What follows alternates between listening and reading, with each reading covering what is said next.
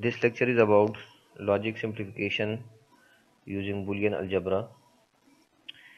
Uh, we will solve different complex expressions using Boolean algebra and we will try to minimize uh, these complex expression with the help of laws, rules and uh, different theorems of Boolean algebra.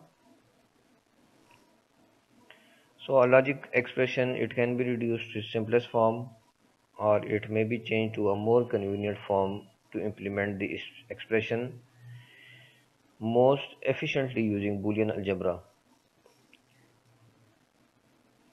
The approach taken in this section is to use basic laws, rules and theorems of Boolean algebra to manipulate and simplify an expression which is a complex expression. इस lecture में हम complex expression को simplify करेंगे। Simplified uh, form में हम उसको convert करेंगे using laws rules and theorems of Boolean algebra so एक एग्जांपल गिवन है। Using Boolean algebra technique we have to simplify this expression इस एक्सप्रेशन में uh, हमने डिफरेंट रूल्स और लॉज अप्लाई करने हैं कि इसको हम सिंप्लीफाई फॉर्म में लिख सकें। तो एक्सप्रेशन गिवन है A B plus A multiply by B plus C plus B multiply by B plus C solution में इसका स्टेप नंबर वन हमने देखना है कि इस एक्सप्रेशन में कोई ऐसी टर्म है कि जो मल्टीप्लाई हो सके within the given expression so दो टर्म्स ऐसी हैं जिनमें के मल्टीप्लिकेशन पॉसिबल है। एक सेकंड टर्म है जिसमें ए मल्टीप्लाई हो रहा है बी प्लस सी के साथ, और थर्ड टर्म है जिसमें बी मल्टीप्लाई हो रहा है बी प्लस सी के साथ। तो हमने ए को बी प्लस सी के साथ मल्टीप्लाई करना है तो स्टेप नंबर वन में हम ए को मल्टीप्लाई करेंगे बी प्लस सी के साथ। तो जो एक्सप्रेशन में टर्म्स आएँगी एक जो सेकंड टर्म है, इससे दो टर्म्स लिखी जाएँगी A B plus A C step number one में दो टर्म्स लिखी जाएँगी ए बी प्लस ए सी और इसी तरह जो थर्ड टर्म थी B multiply by B plus C इससे दो टर्म्स लिखी जाएँगी B B plus B C step number two में हमने रूल नंबर सेवन अप्लाई किया कि B B is equal to B so we can write B B in term of B बाकी जो चार टर्म्स हैं, वो इसी तरह लिखी जाएँगी। स्टेप नंबर थ्री में we have to apply rule number five rule number five में हमने ये देखा था प्रीवियस लेक्चर में कि A plus A is equal to A अगर दो इनपुट्स हों और दोनों सेम हों तो आउटपुट पे वही इनपुट आएगा। तो यहाँ पर अब uh, दो इनपुट्स हैं लेकिन टू वेरिएबल्स के साथ हैं A B plus A B तो आंसर भी ए बी लिखा जाएगा। तो इस तरह हमारी जो पहली दो टर्म्स थी A B plus A B इससे हमने लिख लिया A B step number four में हमने बी प्लस बी सी पे रूल नंबर टेन अप्लाई करना है।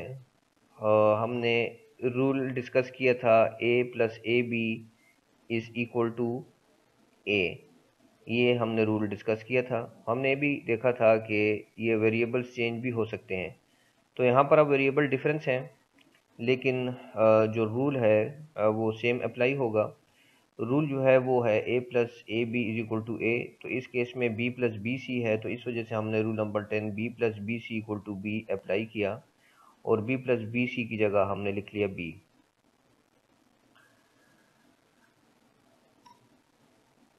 अब पहली और तीसरी टर्म ए बी और बी इन दोनों को हमने कंबाइन करके लिखा या इकट्ठा करके लिखा तो इससे ए बी प्लस बी लिखा गया। दोबारा से रूल नंबर टेन इस पर अप्लाई होगा तो A B plus B is equal to B ये लिखेंगे। तो इससे ए बी प्लस बी की जगह हमने बी लिख लिया और ए सी वाली जो टर्म है वो उसी तरह लिखी आई। तो इस तरह अगर हम देखें तो हमने एक कम्प्लेक्स एक्सप्रेशन थी जो हमें गिवन थी, इसको हमने सिंप्लीफाई किया with the help of these rules जो कि हम प्रीवियस लेक्चर में डिस्कस कर चुके हैं।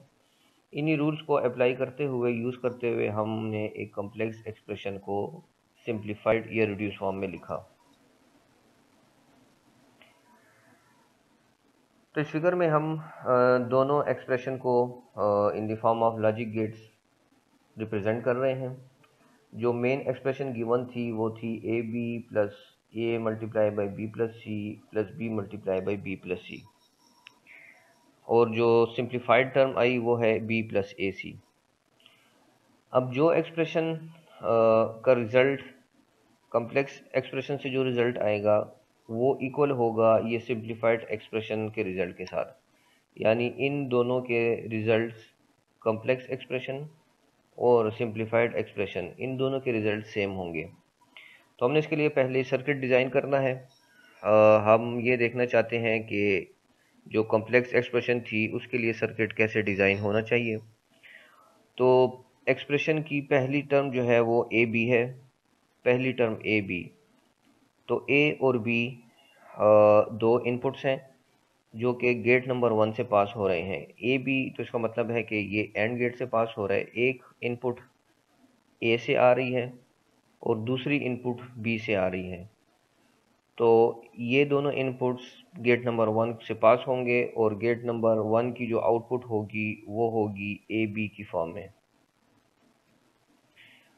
अब इसी तरह जो दूसरी टर्म है, इसमें A multiply by B plus C लिखा हुआ है।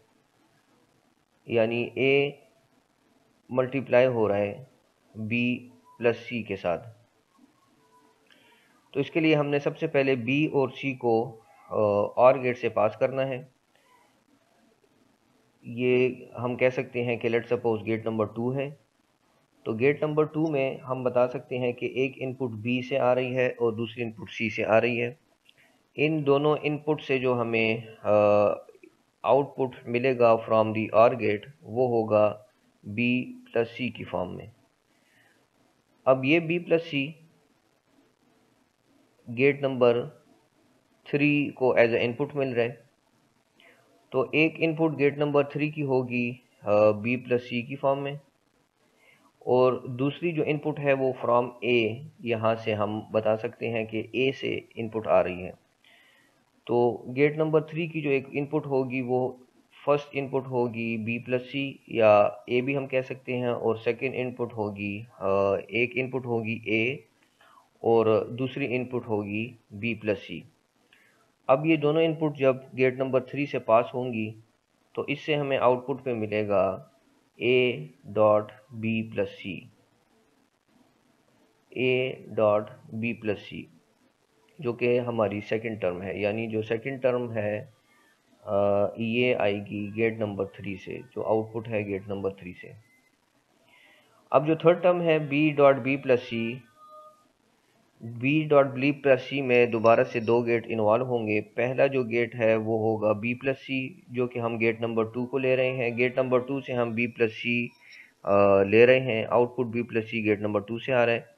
यही इन आउटपुट गेट नंबर फोर का एक इनपुट हो जाएगा और गेट नंबर फोर का दूसरा इनपुट होगा सी दूसरा इनपुट होगा बी तो गेट नंबर फोर से जो आउटपुट आएगा, वो हमारी थर्ड टर्म होगी, जो कि है B dot B plus C अब ये तीनों टर्म्स पहली टर्म ए बी दूसरी term A dot B plus C और तीसरी term B dot B plus C ये तीनों गेट नंबर फाइव जो कि आर गेट है, इससे पास होंगे और हमें अपनी फाइनल एक्सप्रेशन मिलेगी in the form of A B plus A dot B plus C plus B dot B plus C ये सर्किट डिज़ाइन हुआ जो हमें गिवन इनपुट पे कॉम्प्लेक्स एक्सप्रेशन जो गिवन थी, उससे ये गेट सर्किट डिज़ाइन हमने किया।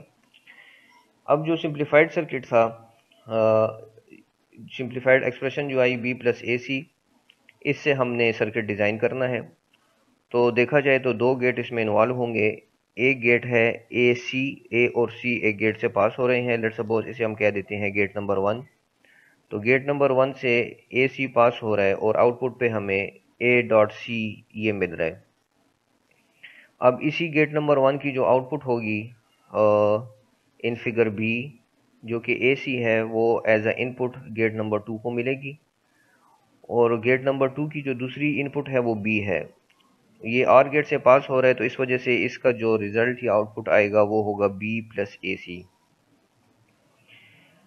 अब हमने ये चेक करना है कि क्या ये दोनों एक्सप्रेशन जो आई, वाकई इनका आउटपुट सेम होगा?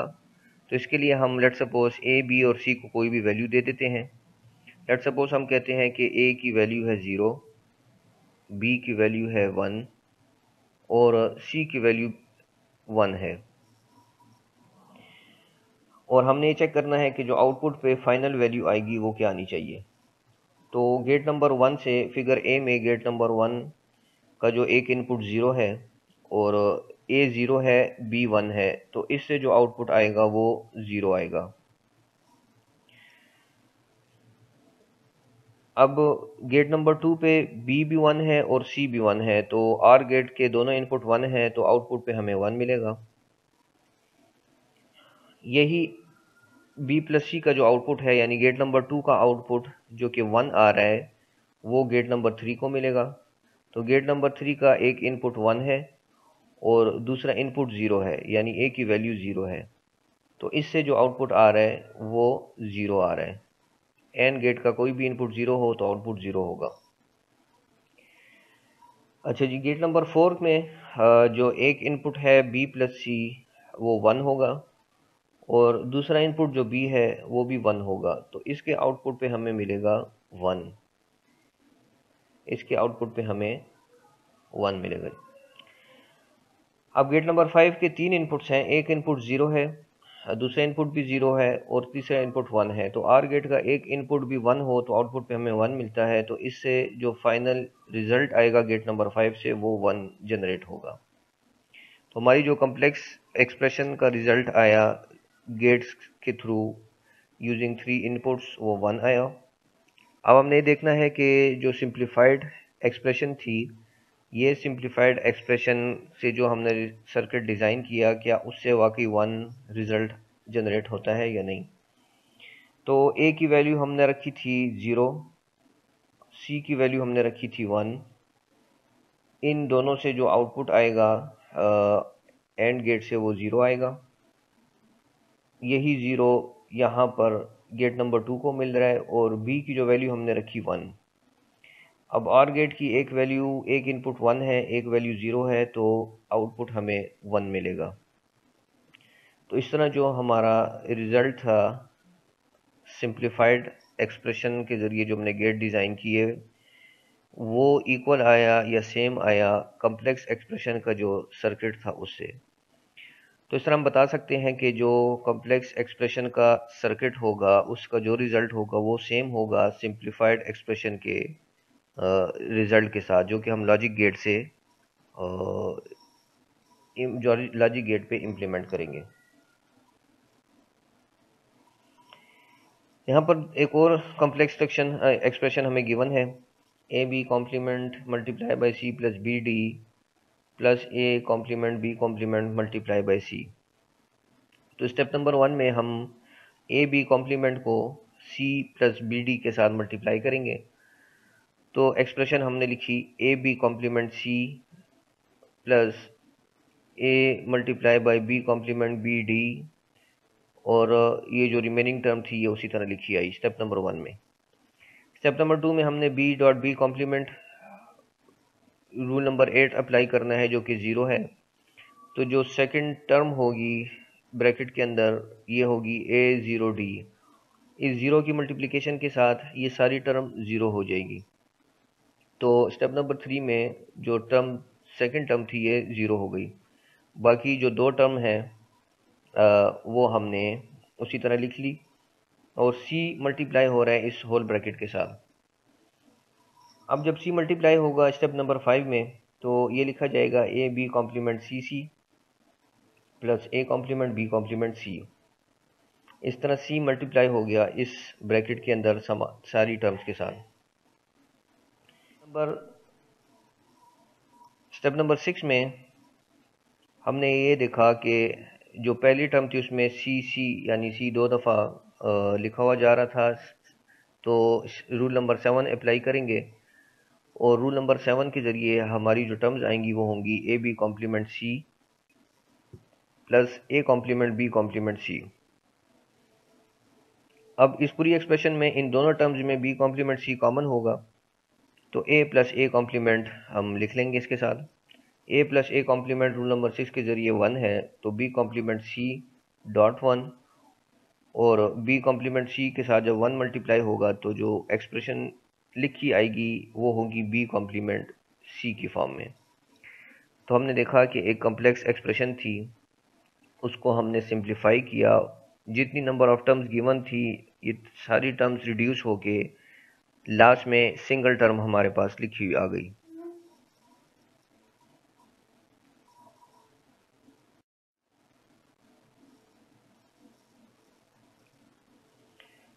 नेक्स्ट एक और कॉम्प्लेक्स एक्सप्रेशन हमें गिवन है। डिफरेंट नंबर ऑफ़ टर्म्स इसमें इन्वॉल्व हैं और हमें ये कहा गया है कि इसको हमने सिंप्लीफाई करना है। तो हमेशा से याद रखें सिंप्लीफिकेशन का रूल ये है कि हमने ये चेक करना होगा अपनी इस कॉम्प्लेक्स एक्सप्रेशन में कि जो नंबर ऑफ़ टर्म्स गिवन है, इसमें नंबर ऑफ़ वेरिएबल्स कॉमन हो सकते हैं या नहीं।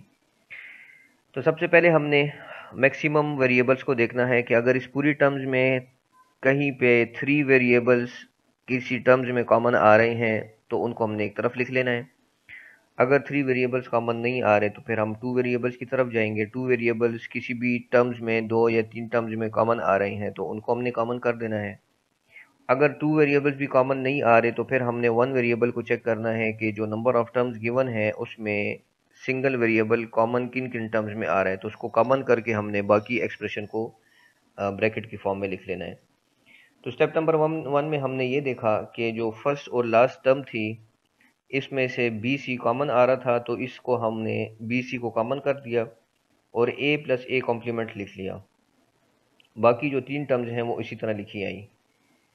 अब A plus A complement equal to one है तो इस वजह से B C multiply by one हो जाएगा स्टेप नंबर टू में।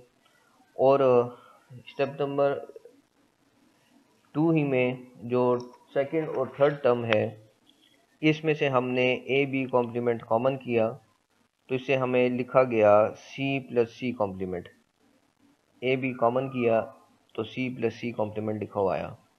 अब सी प्लस सी कॉम्प्लीमेंट दोबारा से रूल नंबर सिक्स के थ्रू हमने वन इसको लिखना है। तो हमारी जो टर्म्स लिखी हुई आई स्टेप नंबर थ्री के बाद, वो थ्री टर्म्स आएँगी। B C plus A B complement plus A complement B complement C C complement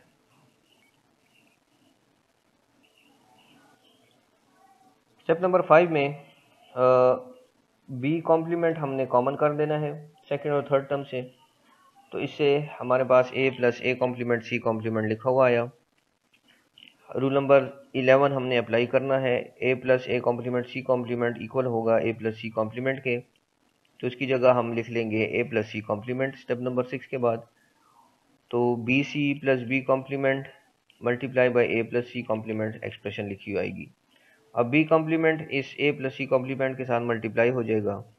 तो जो हमारी फाइनल एक्सप्रेशन आएगी वो होगी B C plus A B complement plus B complement C complement तो इस तरह हमने एक कॉम्प्लेक्स एक्सप्रेशन जो गिवन थी उसको सिंप्लीफाई किया with the help of these